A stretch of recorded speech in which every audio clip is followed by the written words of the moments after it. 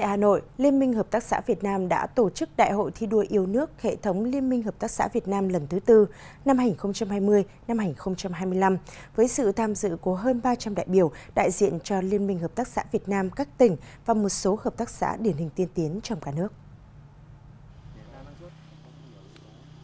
Với mục tiêu phát triển kinh tế hợp tác, hợp tác xã nhanh và bền vững, xây dựng hệ thống liên minh hợp tác xã các cấp vững mạnh, trong 5 năm qua, Liên minh Hợp tác xã Việt Nam đã phát động nhiều phong trào thi đua yêu nước với các chủ đề, nội dung phong phú và thiết thực. Qua đó, đã đem lại giá trị gia tăng cho kinh tế hộ thành viên, thúc đẩy phát triển kinh tế cá thể, hộ gia đình, đóng góp trên 30% GDP cả nước. Hợp tác xã, Liên hiệp Hợp tác xã, Tổ hợp tác đã thu hút hơn 3 triệu lao động, tạo hơn 40.000 việc làm mới hàng năm.